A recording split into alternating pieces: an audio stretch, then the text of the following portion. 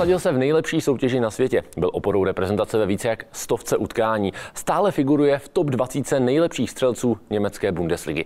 A v roce 2015 se po 18 letech vrátil do Čech, aby jako trenér s reprezentací dorovnal na euru české maximum. Vás mu zlomil covid a kauza spojená s neúčastí na mistrovství světa. To je první host Fortuna Baru v roce 2022. A tím hostem je bývalý kouč reprezentace Jan Filip. Dobrý den. Dobrý den. Přiznám se, že když jsem se spoustou kolegů mluvil a říkal jsem jim, že dnes se budu bavit s vámi, tak mi spoustu z nich řeklo, a co vlastně dělá Jan Filip teď? Tak já momentálně dělám šéf trenéra mládeže na Českém svazu házený, takže mám pod sebou vlastně e, tréninkový centra mládeže. To vám ale zůstalo, takže vám jako ubyla práce. No, prakticky dá se to tak říct, no.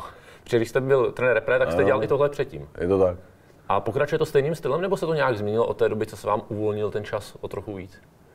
Tak jako pokračuje to, pokračuje to tím eh, s, s vlastně stejným směrem, jako to šlo předtím. Jako ta, tam samozřejmě jediný rozdíl proti tomu je, že jsme měli problém zejména na, na jaře s tím covidem, takže se prakticky v těch klubech netrénovalo. Začalo se trénovat vlastně až, až eh, v létě. Zaplať pámbu se to udrželo, že to, že to teďka ten půl rok vydrželo, ale e, jako zanechalo to velký stopy, bohužel.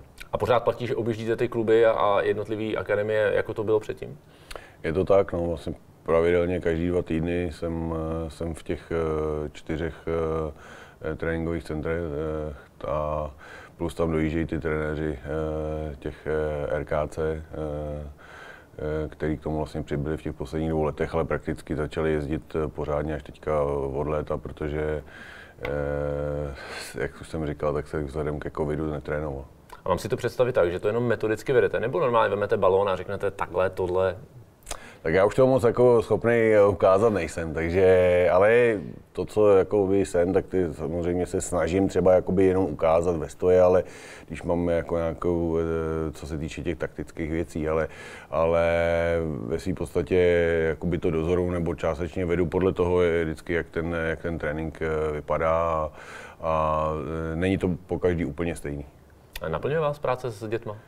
No, tak oni už to nejsou děti, oni už jsou takový, takový, takový skoro dospělí, takže e, mně se na tom líbí to, že prostě jsou tvární, jo? Že, že oproti třeba těm zkušeným hráčům, kteří jsou potom v té dospělé kategorii a je jim kolem těch, e, já jen 30 a víc, a tak s těma už se jakoby některé ty věci nebo ty, eh, ty činnosti už se prostě jakoby hůř předělaly. Když to u těch mladých jako tam vidíte relativně e, rychlej e, posun. No, eh, když jsem se koukal na to, jak vy jste začínal, tak eh, já si pamatuju eh, z projektu Bez frází váš výrok, že posilovnu jste znal jen z vyprávění. Jsou dneska ty kluci jiný? Nebo je, nám někoho najdete taky takovýho? Tak vždycky se najde. Já si myslím, že se to ale posunulo. Prostě na, to byl jeden z našich největších problémů, ta silová příprava. Vůbec jako já si myslím, že každý hráč, který z České republiky a hráčka odešli do zahraničí, tak podle mě tohle, ta, ta silová připravenost prostě patřila eh, jako eh, eh, k tomu, že vlastně zjistili, že, že to je to, co nám nejvíc chybí. Ale myslím si, že se to teďka tady změnilo. Máme e, svazový kondiční trenéry, který vlastně nás zachránili prakticky v tom covidu, kdy se nedalo dělat, dostali plány, pracovalo se vlastně přes ty, e, přes ty plány, které dostali, nebo online. A myslím si, že to byla vlastně jediná možnost, jako jak se udržovat e, nějaký kondici. A myslím si, že, že e, ty kluky to prostě chytlo. A oni vlastně zjistili, že nejenom, že jim to jakoby, že vzhledem k tomu věku, jak se celkově vyvíjejí, zesilujou a teď i líp vypadají. Takže já si myslím, že někteří jako opravdu to vzali až tak vážně, že jako e, ty trenéři někteří musí až z té posilovny jako honit pryč, jo, aby to nepřeháněl. A na talent a na dar od Boha už se nejde jenom? Já si myslím, že to už dneska jako není. Samozřejmě je to, za mě je to jakoby nejlepší kombinace. Když máte prostě ten talent a máte k tomu tu píle a jste, jste pracovitý, tak je to nejlepší kombinace. Protože když má prostě někdo ty přednosti jako přirozený a, a to, tak, tak je to vždycky jakoby jednodušší. Ale ono většinou je tam vždycky taková ta nějaká vyváženost. Že spíš vidím já to, že, že ty, kteří mají třeba toho talentu méně, tak daleko víc pracují a, ale je to prostě individuální. A draftujete ty kluky eh, opravdu včas, nebo je, třeba vy jste konkrétně přeběhl vlastně k házený od, od tenisu až po nějaký době a ještě vlastní volbou, revoltou doma. Uh, Působíte dneska už tak, že ty kluky se snažíte odchytit dřív, nebo je taky přetahujete z jiných sportů? Já si myslím, že jako házená to v tomhle tom samozřejmě má složitější. Jo. Dneska, hmm. dneska uh, jsou sporty, které jsou populárnější, ať už je to fotbal, hokej, uh, florbal, florbal hmm. uh, Eh, který samozřejmě díky vzhledem ke svým pravidlům je trošku jednodušší, hraje se prakticky dneska na všech školách, může to hrát eh, kdekoliv, takže s tou házenou je to trošku složitější.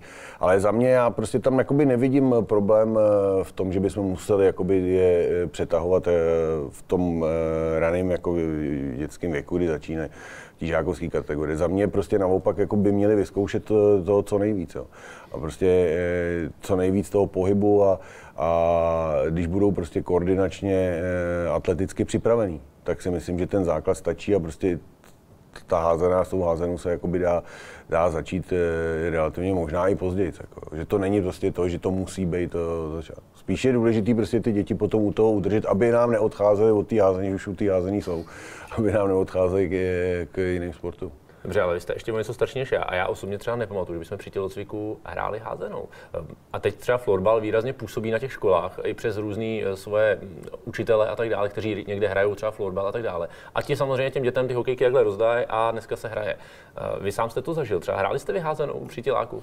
No, to jsme nehráli házenou, ale já si myslím, že dneska jako samozřejmě se, se snaží uh, kluby v České republice prostě uh, chodit do škol a tu házenou tam prostě dostat. Jo. Jsou takové školy, myslím si, že se tohle uh, zlepšilo, ale samozřejmě, jak už jsem řekl, prostě ta házená má trošku jakoby těžší pravidla uh, oproti tomu florbalu, tam rozdáte ty hokejky, míček, uh, máte dvě branky, mantinely a, v podstatě se nemusíte o nic starat, takže si myslím, že i pro ty učitele je to jednodušší. Takže tohle je i úkol, jako si myslím, pro ty házenkáře, aby byli schopni přesvědčit ty, ty učitele, aby se ty, tomuhle tomu sportu jako, e, na těch školách věnovali. Eh, je něco, co třeba v těch eh, akademiích nebo v těch, v těch mládeži uplatňujete z toho, co jste si zažil ve Švýcarsku, v Německu? Tak celkově si myslím, že ta koncepce jako vlastně je založená na tom, jak jsme to během těch let, když jsme se sem vrátili, tak vlastně že začínalo to s Danem Kubešem a Karlem Nocarem a myslím si, že hodně jsme si vzali od Filipa Jíchy a, a prostě tímhle s tím eh, směrem jedem a, a, samozřejmě se to snažíme pořád jako podle těch trendů, které jsou, které se mění, i když se nemění moc, tak se to snažíme prostě tomu jakoby přizpůsobit. Bereme si z toho to, to, co si myslíme, že prostě je aplikovatelné a je to, je to vhodné prostě pro, to, eh, pro, pro nás tady v České republice. Když si ve fotbale zaujmout kluky, tak se většinou dělá to, že tam vemu kluka z Ačka a jde třeba na trénink mládeže, žáčků a tak dále. Ty jsou samozřejmě wow, přišel eh, Lukáš Provod například, nebo někdo takový. Vy jste byli v Nordhornu, bylo tam to samý. Fungoval, chodili jste, přece jenom vy jste tam fungoval jako je, vy jste tam byl za jednu z hvězd. Pak jste, chodili jste třeba na tréninky takhle těch dětí? Takhle občas jsme chodili, já si myslím, že tohle to už jako je eh, prakticky samozřejmostí. Myslím si, že je to super, i, i když třeba v těch klubech e, jsou ty hráči jakoby částečně zapojení, že tam někteří tam chodí pravidelně, jo, že hmm. třeba chodí na ty žákovský nebo dostanecký tréninky. Já si myslím, že vždycky prostě zhlížejí k těm, k těm hráčům, kteří hrajou za ten A tým a Eh, tak si myslím, že to je vždycky jakoby plus a eh, taková doplňková motivace pro ty, pro ty děti. A dělal se to v Německu, bylo to tam tak? No my jsme to dělali, ale já zase říkám, jo, tenkrát v době, já jsem byl v Nordhornu, tak eh, ta mládež zase tam úplně tolik jakoby nefungovala. Hmm. Ale samozřejmě chodili jsme a chodili jsme i různě do škol a, a to samé bylo prakticky v těch mých dalších působištích, už to bylo René nebo Sankale. Jste, s jste pořád s těmi působišti, o kterých jste teď třeba mluvil, jste tam v kontaktu? No, musím říct upřímně, že mám. Asi nejvíc jsem jakoby v Nordhornu, ale to ještě teďka jakoby díky tomu, že tam eh, trénuje Dan Kubeš. Takže samozřejmě jako my spolu uh, pořád v kontaktu jsme, ale už, už z těch lidí, kteří tam byli, tak už tam prakticky moc není. Fyzioterapeutka, kustot a vlastně jedna, jedna paní z Gešeštele, takže takže to je jediný, ale jako říkám, kontakt s ním mám opravdu minimální. Čem byl kouzlo té vaší generace, když se na to vlastně podívám, tak z vaší generace uh, jsou teď tři trenéři v Bundeslize. Už jste říkal Dan Kubeš, eh, Alois Mráz, uh, potom bych měl říct ještě Filipa Jíchu samozřejmě. Vy jste trénoval vlastně ve Švýcarsku, potom tady v Čechách. Čím to, že z téhle generace vzešlo tolik takových osobností, ale i trenérských? To není základ.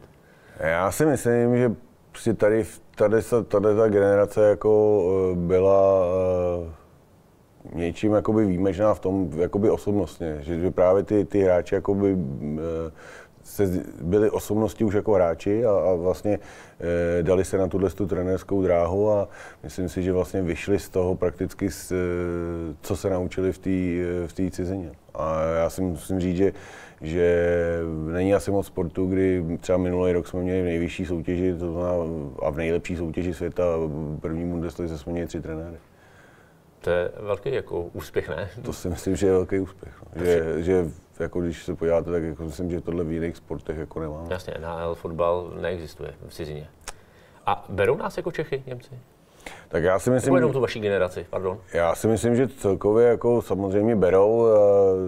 Samozřejmě ta naše generace bohužel jako nic nevyhrála, takže to, to bylo trošku až, říkám, až na ty, myslím tím jakoby na reprezentační na, úrovni, protože na, na té na tý klubový si myslím, že naopak eh, jako ty, ty eh, hráči. to má plnou garáž, předpokládám. Tak no. ten toho má nejvíc, taky si myslím, že jakoby jednoznačně, jednoznačně ne, ne nadarmo byl vyhlášený nejlepším házenkářem světa a myslím si, že to je jako vůbec jakoby historicky nejlepší hráč, který jsme tady kdy měli.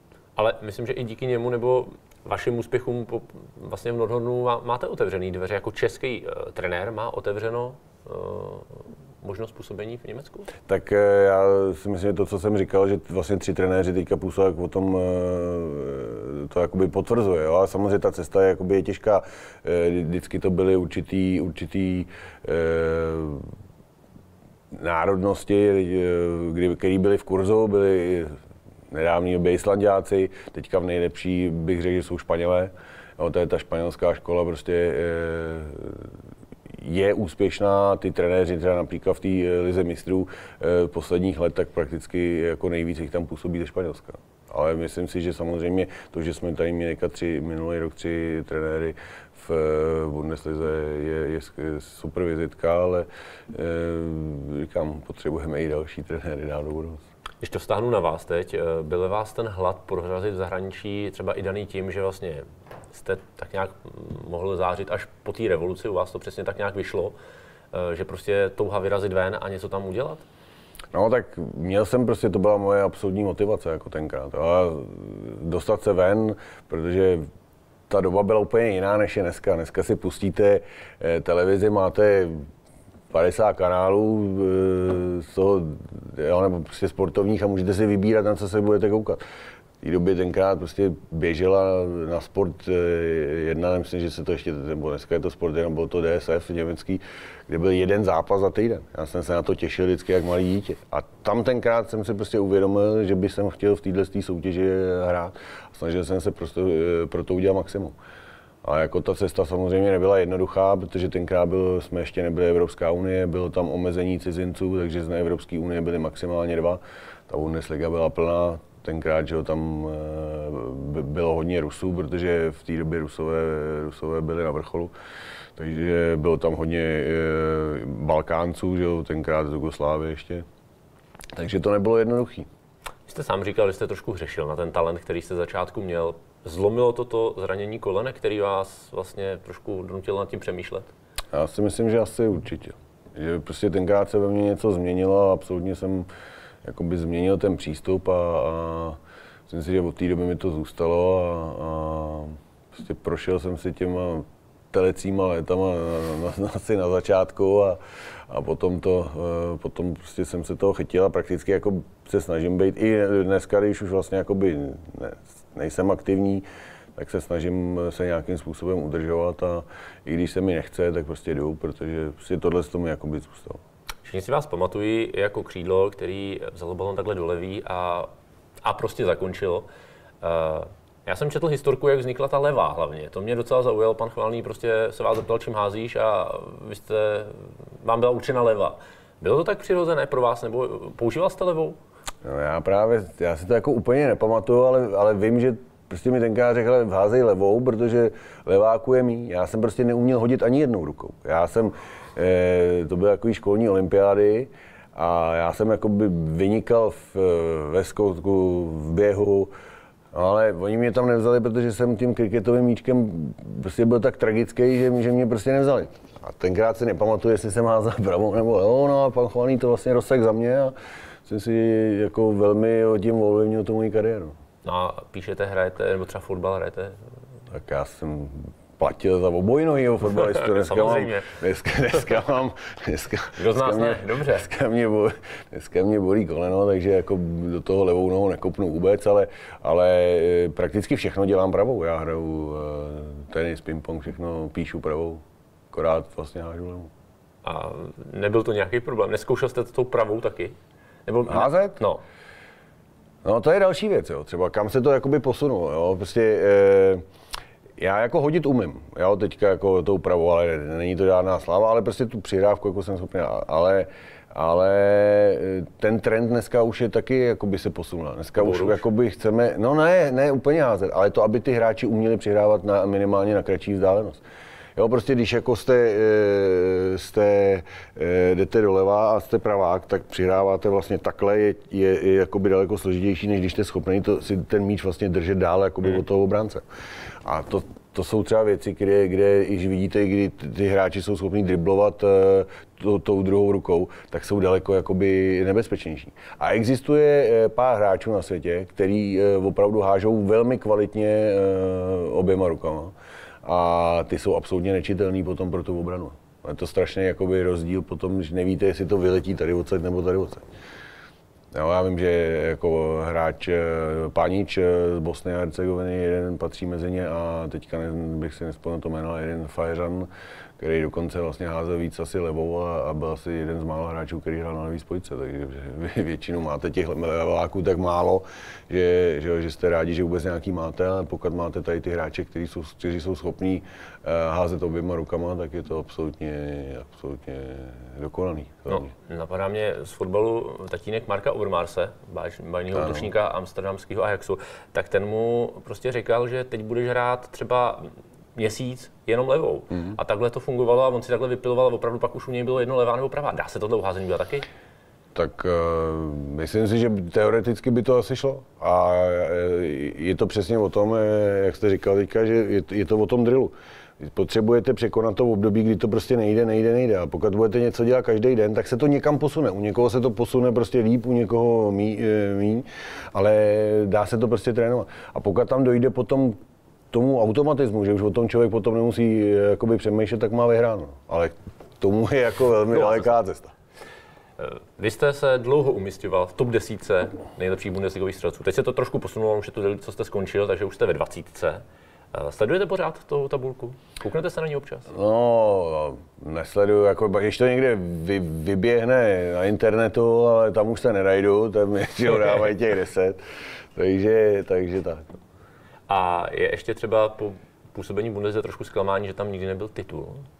No tak samozřejmě, že mě to mrzí, no, tak uh, vždycky jako chcete vyhrát, děláte, hrajete to proto, abyste něco vyhrál. Dává to smysl. Dává to takový smysl sportovní. A mm, já si myslím, my jsme tenkrát byli nej, nejblíž v té sezóně 2001-2002, eh, kdy, kdy vlastně se o tom rozhodlo až v posledním, eh, posledním kole, kdy prakticky Kiel vyhrál ve Flensburgu a, a díky tomu vlastně získal titul a, a my jsme tenkrát si to vlastně prohráli v, tehdy ještě hráli Bundesligu Valou Massenheim a tam jsme, tam jsme prohráli úplně zbytečný zápas a myslím, že tam jsme si jakoby prohráli ten, ten, ten titul, protože jsme měli opravdu výborný tým a ten tým se vlastně prakticky potom roz, rozpadnul, protože jsme měli finanční problémy a, a byla to škoda, že jsme to tenkrát nedokázali, nedokázali dotáhnout do vítězného konce, ale i tak já to, na to velmi rád vzpomínám. Vy jste měl jeden výborný tým, ale vy jste měl hlavně super sezónu. Vy jste skončil druhý v eh, bodování vlastně v králi střelců Bundesligy.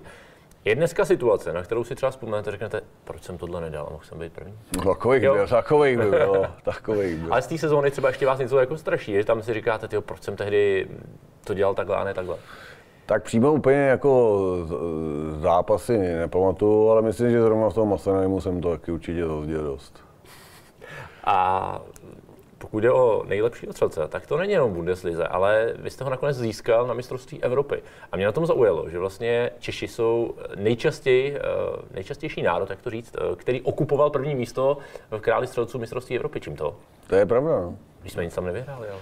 Nevyhráli, no tak aspoň tady v tom jsme, jsme vyhráli, ale, ale je, pravda, že, je pravda, že to bylo jenom na těch mistrovstvích Evropy. Na druhou stranu já považuji mistrovství Evropy celkově jako za nejtěžší turnaj. A, a oproti mistrovství světa, oproti olympiádě, ale uh, myslím si, že se to tak eh, pěkně sešlo a, eh, je, je fajn, že aspoň teda tady, tady jako máme, máme nějaký prvenství.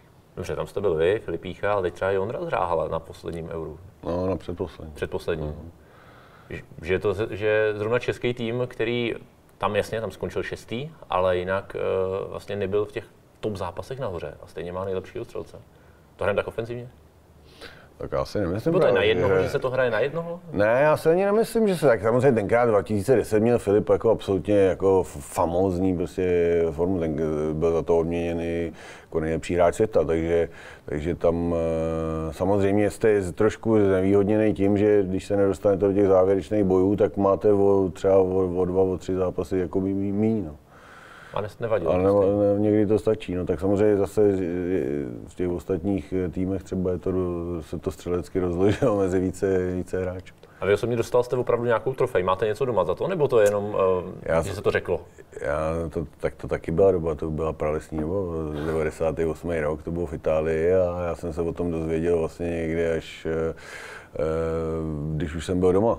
No jasně, protože no, ještě protože my, jsme, my tam už, už jsme dávno nebyli, takže, takže a to tenkrát že ještě taky nefungovalo úplně internety a tak dále, takže myslím si, že mi tenkrát něco při, přivezli nebo poslali, ale bylo to takový komický tenkrát. Už jste nakousl mistrovství Evropy, no a mistrovství Evropy teď čeká českou reprezentaci v Bratislavě a taky v Maďarsku pak třeba. Uh, jak na to koukáte? Jak uh, to budete sledovat? No tak samozřejmě sledovat to budu. To je, já si, já si myslím, že, že mistrovství Evropy, jak už jsem teďka říkal, je, je nejlepší nebo ne, nejtěžší turnaj, protože nejvíc nebo nejkvalitní, nejkvalitnější týmy jsou z Evropy a, a, a tím, že se to teďka ještě samozřejmě rozšířilo, tak, tak si myslím, že, že to že, že, že to bude jako super mistrovství, záleží teďka na tom, jak se to zvládne prostě zdravotně. Protože těch případů jako je té přípravě dost, bylo zrušeno hrozně moc eh, těch přípravných utkání, to tady nikdy nebylo a, a doufejme, že, doufejme, že ty týmy budou moct nastoupit eh, v těch sestavách, jaký by si přáli, aby to mistrovství bylo i kvalitní. Hostem Fortuna baruje i nadále Jan Filip, trenér, který s českou reprezentací dorovnal historický maximum, tedy šestý místo na, šesté místo na mistrovství Evropy. Je to strop, na který český, česká házena má?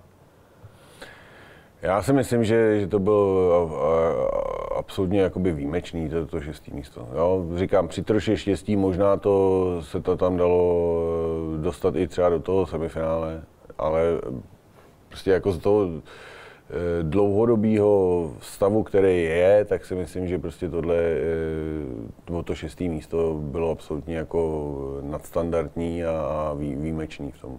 Jo, prostě ty státy, které se pohybují dlouhodobě v té špičce evropské nebo světové, tak jsou prostě proti nám jako eh, dál. Tak těsně mohlo být pátý, tam to mohlo klapnout, že jo, v tom posledním zápase. Ale ještě se spíš tam k tomu, eh, vaše vize tehdy u týmu, když jste působil u reprezentace, cítil jste, že ještě můžete to někam dál posunout, že ještě se to někam dál dá posunout z toho šestého místa? Tak jako posunout se to, vždycky se to dá posunout, vždycky se můžete jako někam posunout. Ale s tímhle Musíte... týmem, ještě, jestli tenhle tým ještě mohl zrát někam dál, jakoby, nebo tak, tohle byl strop toho týmu? Tak já si myslím, že ten tým se prostě stejně každý rok jakoby trošku obměnil. No, my jsme se prostě snažili tam e, e, ten tým doplňovat postupně o ty mladý hráče. A já dneska jako si mám radost z toho, e, jaký hráči jsou dneska tam, e, ty mladí a už vlastně přebírají tu roli, roli těch eh, lídrů prakticky. Jo. Třeba Matěj Klíma, musím říct, že udělal obrovský, obrovský posun. Jo. nebo prostě Dominik Solá, který v té době vlastně jakoby začínal a dneska už je to vlastně základní stavební kámen té defenzivy. Takže a těch hráčů je samozřejmě ještě jakoby víc, jo, který, který, se, který se posunuli.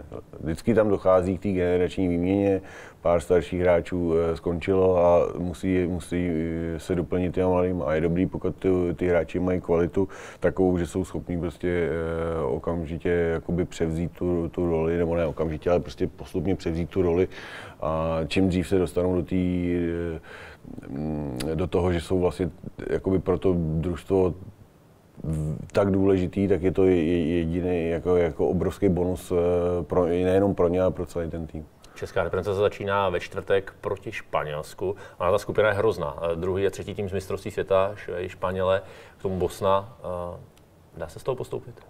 Tak dá, samozřejmě je to sport a, a si, eh, je potřeba, aby klukům vyšlo to a dostali se za, za tu svoji hranici aby prostě byli schopni tady tyhle ty týmy porazit. Ale prostě eh, první zápas Španělsko, že samozřejmě jeden z favoritů eh, mistrovství Evropy. Na druhou stranu eh, i u nich došlo k té generační výměně. Mají tam šest absolutně nových hráčů, odešlo jim pět a šest těch hráčů, který vlastně pro Španělsko vyhráli v, v minulosti mistrovství Evropy třeba na těch dalších akcích působilo taky, eh, nebo hráli většinou prostě až, eh, až o medaile.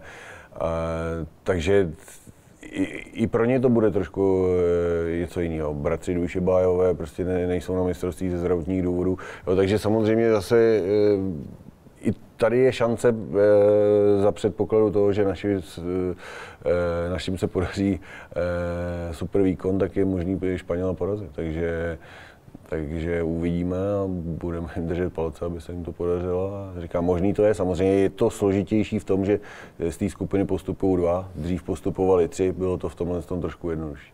No, já když jsem se s kýmkoliv bavil o tom, o vašem působení v reprezentaci, tak mě několik lidí nezávisle na sobě řeklo, že vy jste vlastně změnili hlavní věc, že jste klukům prostě dali do hlavy, že se dá hrát s každým, že s každým můžou uspět, s každým můžou si to opravdu rozdat.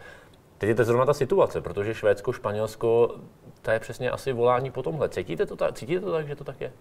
Já si myslím, že tady trošku bylo jako takový ten přílišný respekt dřív jako z toho, z těch hmm. velkých soupeřů. A já si myslím, že i dneska tím, že většina těch hráčů hraje v těch zahraničních soutěžích, eh, mají možnost se prostě setkávat s, s těma top hráčema, Eh, hrát proti ním, tak, eh, tak je to samozřejmě v tomhle tom jakoby pro ně jednodušší, že už na ně nevzhlížejí, tak jako a, bohy, a musíte k tomu samozřejmě takhle, takhle přistupovat. A každý se dá porazit, prostě je to sport, jo, já říkám, my nemůžeme asi Španěla z deseti zápasů eh, jakoby porážet, že bychom ho porazili, jednou ho porazit prostě můžeme. A proč ne zrovna jako na mistrovství Evropy? A vidíte v těch klucích, kteří tam jsou pořád to nastavení od vás, co tam měli před rokem? a půl. Tak to, tak to se musíte asi zeptat. Já si, mě strašně jakoby, uh, milé překvapili, jak, jak hráli uh, herně, hlavně prostě uh, v, v ty, ty poslední zápasy. A ty, ty zejména ty mladí hráči, na kterých to, na kterých to stálo. Já to teďka, tehdy, velká odvaha, tam ty mladí kluky hodí. Vy jste, vlastně, vy jste to říkal, generační obroda, reprezentace, potkal zrovna vás, když jste byl u reprezentace jako trenér. Uh, ale pořád by tam ještě třeba někdo mohl zůstat chvíli. Ale vy jste přesto do toho sáhli a udělali jste docela dost řezů, dost mladých kluků jste pustili do, do Ačka. No tak eh, já si myslím, že tam je vždycky dobrý, že tam jakoby ten myšung, jak, jak se říká, že prostě tam máte ty, eh, ty starší, zkušenější hráče, který předávají e, e, těm mladým nejenom to, že jim ukazují, jak jsou herně kvalitní, ale i, i prostě to, jak funguje ten tým, jo, jak oni fungují v tom a oni se vlastně od nich učí. Tu kulturu. A to je za mě strašně důležité. A proto bylo důležité, že tam eh, ty starší hráči byli a byli kolem nich vlastně se, se, to, eh, se tam dostávali ty, ty mladí. Eh, reprezentace, je to pořád u vás ještě bolavý téma? No tak upřímně prostě ten odchod a ten způsob prostě mě bolí. A myslím si, že nejenom mě, ale myslím, že i Dana. Bavíte se o tom s Danem? No, jak teď už to neřešíme, nemá to smysl, ale prostě samozřejmě jako jsou, v této trenerské práci musí být každý připravený na všechno. Ale když nemáte výsledky, hrajete špatně. No jo, tohle chápu všechno, ale já si dovedu představit analogickou situaci ve fotbale. Tak to odskáče Libor Sionko a Tomáš Pešír ale tady to odskákali trenéři. Tohle spíš jako jestli vás prostě neříkáte si, sakra, já měl dělat taktiku na mistrovství světa a ne tady řešit nějakou covidovou bublinu, proč jsem to odskákal já. Tohle jestli ve vás není. Je a dál se k tomu nebudu vyjadřit. Myslíte si, že se někdy vrátíte, e, třeba ne teď, za pět, za deset let, e, třeba s Danem Kubešem nebo bez něj, to je jedno, prostě, že se dokážete vrátit třeba k reprezentaci?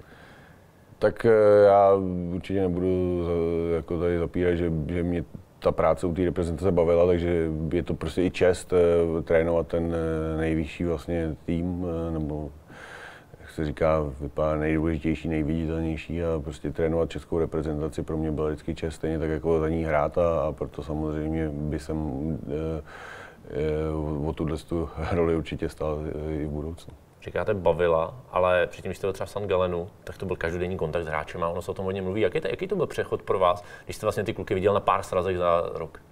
No je to samozřejmě složitější, protože to nemůžete tolik, eh, tolik ovlivňovat. Na druhou stranu, na druhou stranu eh, zase vidíte, eh, ty hráči dostávali od nás nějaký úkoly a když potom přijedou za nějaký ten měsíc, tak vidíte, jestli na těch věcech pracovali nebo ne. A to je samozřejmě v té v každodenní práci je to, je to samozřejmě jakoby jednodušší. Je to líp, líp to dokážete prostě ovlivnit. Jo, prostě ty hráče máte pod rukama. Tady vám pracují vlastně většinou času, eh, když eh, v těch klubech a přijedou na, to, na, na, na ten sraz a, a toho času tam většinou je, je, je velmi málo. Tam je nejvíc času, je tam vlastně před těma mistrovstvími.